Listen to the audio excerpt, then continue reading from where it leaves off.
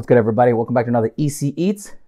Today I got some kimchi fried rice up in here. Check it out. Look at that. Yeah.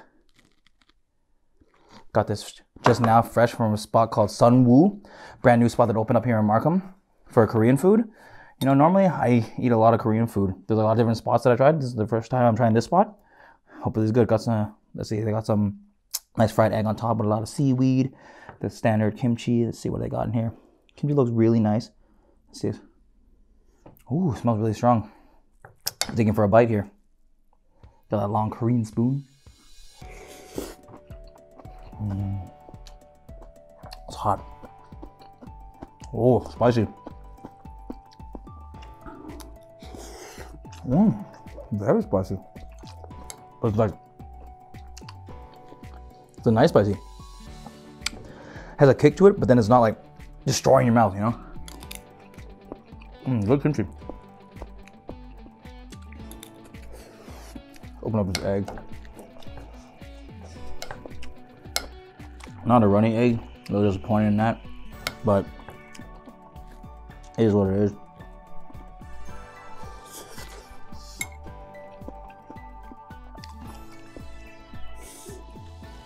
Mm. Kimchi fried rice without an egg is not kimchi fried rice. You gotta have that top egg on top, man. Mm. That's good. That's fucking good. And they came with a bunch of banchan, some side dishes. Let's take a look at them. First up, we got, these are big too. Look, look how loaded that is. Got some japchae. That glass noodle. I love these, they're my favorite. Try a little bit of that.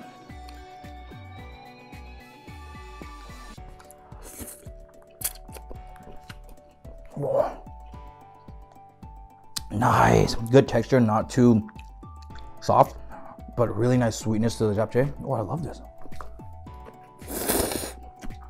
Mm, good sesame oil flavor. Mm. Mm. Absolutely delicious. What are you guys' thoughts on Korean food? I know a lot of people, my friends, love it. Every time we finish doing anything, it's like, yo, Korean, you know? It's just so versatile. A lot of good vegetarian options, a lot of good meat options. It's like something for everyone, you know? And it's relatively cheap. This is this whole thing, I want to go pick up around like, I think it's $11.99 or $12.99 for the um, kimchi bokkeumbap, the kimchi fried rice. So it's good. You get like basically 12, 13 bucks for all this whole big portion and all the side dishes. Let's move on to the next one. Oh yeah, what I'm eating right now, their kimchi, look at that. It's a butte, right? Looks really, really red.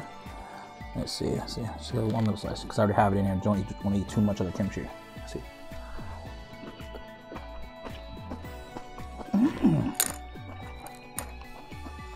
Fucking good. That's really good. There's like a sweetness to the kimchi. Like it's way different than it is in the, in the fried rice. This by itself, this is really, really good.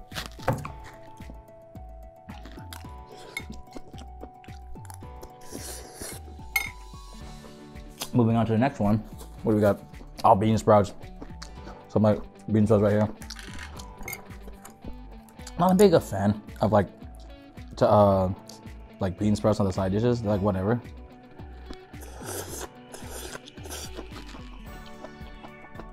Yeah, I guess it gives you like a nice, refreshing, cooling palate cleanser. But like to be honest, like nothing special about bean sprouts. Not my favorite.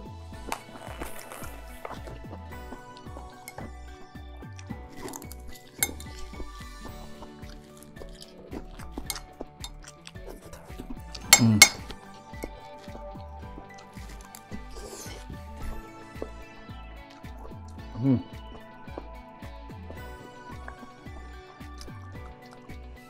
Very, very nice.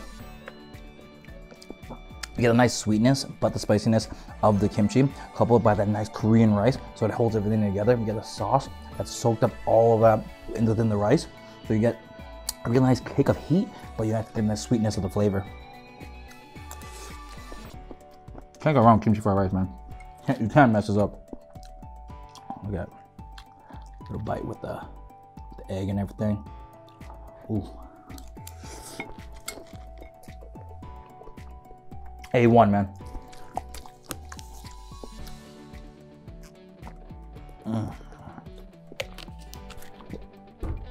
There's one last side dish here too. Ooh, fish cake. I like that. I like the fish cake. I like fish cakes in the side dishes. Mmm. Mm. Nice soft sweetness to the fish cake. Sometimes you get Korean places that have fish cakes that are very like rubbery. This doesn't taste like that. It's nice. Nice springy. Good sweetness. And carrot in there. Nice. Very nice. Out of the four side dishes, I think I'm biased here. Probably japchae is number one, but the kimchi is really close. It's amazing kimchi. This place has really good kimchi. Sung Woo, man. When I initially Googled this place, I Googled Sung Woo, and the thing that popped up was Sunwoo, that um, you know, that YouTuber, um, ProZD, I think that's his name. That showed up because his name is. So funny. He's like pretty old, like 30 something, but he looks like he's super young, my age. Mm.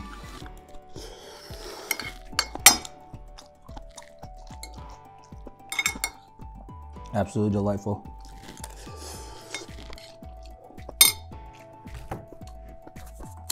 Give more of that japchae. I don't know how recently this place opened. My cousin was the one who told me about it. It was a brand new spot open, probably just like within like the past month or so. Not too sure. But very good spot. Really good. Really good to add to my list of Korean spots that I go into in Markham. oh. it's not COVID, man. Just up. Oh, the spice can't hit me. Oh. Their spot is pretty much a takeout spot though. It's pretty small inside, but how's anyone sitting indoors any anyways nowadays, right? My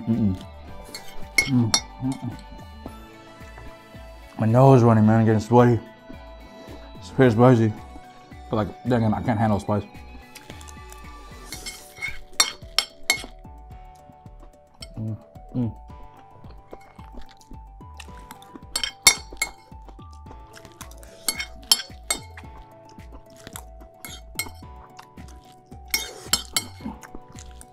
Mm. This place is fantastic. All done, man. Mm. Value 10, 10 out of 10. Taste 10 out of 10. Place amazing. Probably, yeah, probably one of the best Korean spots I've been to in, in, uh, in Markham. What I've noticed, like the flavors here in Canada, they're a lot stronger in the spice than they are in Korea when I was in Korea last year, they're like a lot more mild, but then a lot more soup base. Anyways, thanks for watching this video. Thank you for liking and subscribing. Uh, make sure you share with your friends. Let everybody know about EC Eats, you know. Stay safe, everybody. Peace out.